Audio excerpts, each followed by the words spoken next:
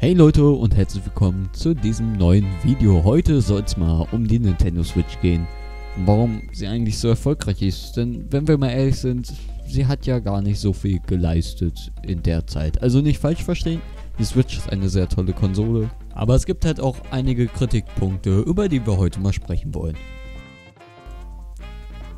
Die Nintendo Switch ist jetzt seit fast zwei Jahren draußen und in diesem Zeitraum ist sie quasi durch die Decke gegangen. Aber woher kommt überhaupt dieser Erfolg? Erinnern wir uns mal zurück an den Anfang. Es war der 3. März 2017, der Erscheinungstag der ersten Hybrid-Konsole und damit der Startschuss für eine erfolgreiche Konsole. Doch außer Zelda und ein paar kleinen netten Spielen hatte die Konsole am Anfang echt wenig zu bieten. Versteht mich nicht falsch. Ich bin selber ein riesiger Nintendo-Fan und auch Zelda ist ein krasses Spiel, in dem man hunderte von Stunden versenken kann. Jedoch habe ich mir dieses Spiel als Wii U-Besitzer erstmal für weniger Geld geholt. Das nächste große Spiel kam am 28. April 2017 und war ebenfalls ein Spiel, das es fast genauso auf der Wii U gab. Ich rede von Mario Kart 8 Deluxe. Deluxe? Ich weiß es nicht genau. Zwar werden jetzt einige argumentieren, dass es ja jetzt einen richtigen Schlachtenmodus hat und auch einige Charaktere hinzugefügt wurden, die zum Teil auch echt cool sind. Jedoch ist es wahrscheinlich echt nicht aufwendig gewesen, dieses Spiel zu portieren und ein, zwei neue Sachen einzubauen. Da habe ich mir als Wii U-Besitzer die Frage gestellt, ob es überhaupt Sinn machen würde, dies nochmal für 60 Euro zu kaufen. Am 16. Juni 2017 kam dann der Kracher, bei dem allen Hardcore-Kampfspielfans richtig in die Fresse geschlagen wurde. Die Rede ist von ARMS. Dieser Spiel ist komplett mit Motion Control verseucht. Nur um zu versuchen, die guten alten Wii-Zeiten wieder aufblühen zu lassen. Warum kann Nintendo nicht einfach mal die Motion Control weglassen? Und vom One to Switch möchte ich gar nicht lange reden. Ich sage nur fucking 50 Euro. Dann kam der erste richtige Switch-Titel, Splatoon 2.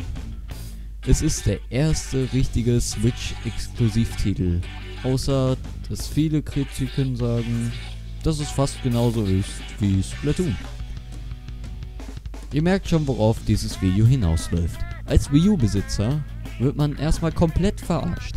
Jedes Spiel wird erstmal schön auf die neue Konsole portiert und dann auch noch für einen Preis von 60 Euro verkauft. So viel haben die Spiele zum Teil noch nicht mal auf der Wii U neu gekostet. Nehmen wir mal das neueste Beispiel. New Super Mario Bros. U hat eine Deluxe-Variante bekommen. Das Spiel hat zum Start auf der Wii U 45 Euro gekostet. Ich habe es mir dann irgendwann mal gebraucht für 20 Euro mit Super Luigi Bros. U geholt. Und nun kommt die Switch. Gleiches Spiel, zwei neue Charaktere, 60 Euro. Das steht doch in keinem Verhältnis. Die Spitze des Eisbergs ist dann noch der Online-Modus, für den man bei der Switch inzwischen 20 Euro im Jahr bezahlt. An sich klingt das ja erstmal gut.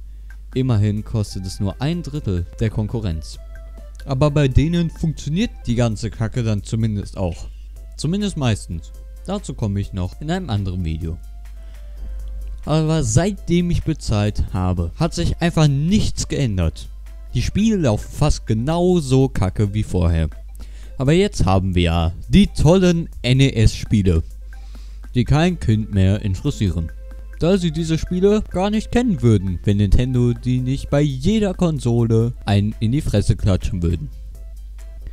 Fakt ist, die meisten spielen diese Klassiker ein bis zweimal und fassen diese dann nie mehr an. Achso, übrigens Grüße an jeden, der 70 Euro für die Mini-NES bezahlt hat. Dieses Video soll eigentlich nur eines zeigen.